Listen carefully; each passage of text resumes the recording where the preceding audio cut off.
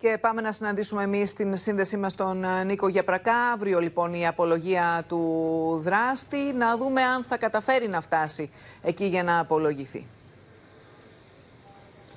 Ακριβώς, Λίνα, είναι μια πολύ σημαντική ημέρα αύριο, καθώς θα κληθεί να απολογηθεί για την πράξη του 37χρονου ενώπιον των δικαστικών αρχών. Ωστόσο, ε, δεν είναι σίγουρο ότι αυτό θα γίνει και στο δικαστικό μέγαρο ε, του πύργου.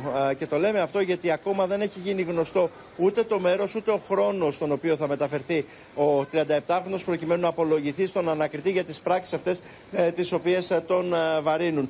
Και αυτό γιατί οι αρχές φοβούνται ότι θα υπάρξουν ανάλογα επεισόδια με αυτά τα οποία είχαμε προχθές όταν πήγαν αρχικά οι αστυνομικοί να τον μεταφέρουν στο δικαστικό μέγαρο του πύργου και οι συγγενείς του κοριτσιού προχώρησαν σε απόπειρα να τον λιντσάρουν. Έτσι λοιπόν είναι άγνωστο το πότε θα γίνει. Υπάρχει μεγάλη αστυνομική δύναμη της Ελλάδας η οποία θα βρίσκεται σε επιφυλακή τόσο στο δικαστικό μέγαρο του πύργου, όπως επίσης το ίδιο συμβαίνει και στο χωριό Μυρτιά αλλά και στο χωριό Αρετή, όπου εκεί υπάρχουν φόβοι για βεντέτα μεταξύ των οικογενειών μετά και από το κάψιμο το οποίο είδαμε του παραπήγματος το οποίο διέμενε ο δράστης στην Μυρτιά.